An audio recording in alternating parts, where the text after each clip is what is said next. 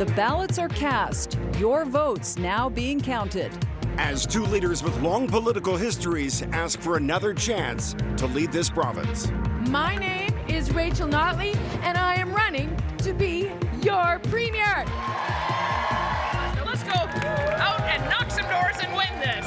After 29 days of promises and political punches, You want to fight with Ottawa. You want to fight with the media. You want to fight, frankly, with your former self. She doesn't want to run on her record. And the reason she doesn't want to run on her record is it was an absolute disaster. We finally arrived at this moment. This is Decision Alberta.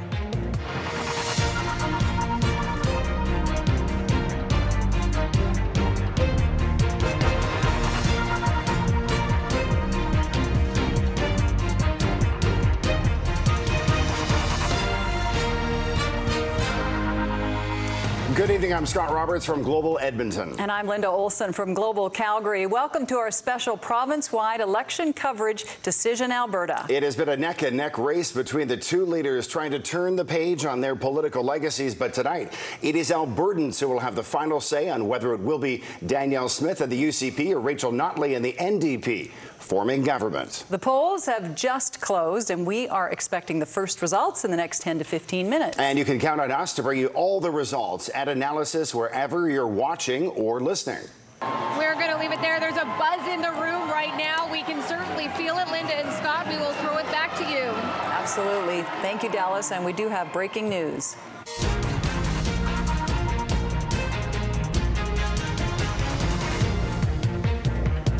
This is the moment we've all been waiting for. Here is your breaking news. Global News is projecting the United Conservative Party will form the next government, and it will be a majority government. We now know that Danielle Smith will lead the province, making her the third female premier in Alberta's history.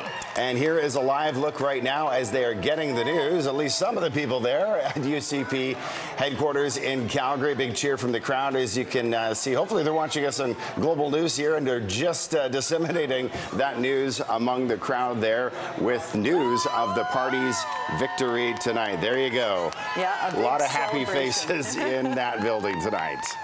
All right, let's go live now to UCP headquarters in Calgary for some reaction to this win.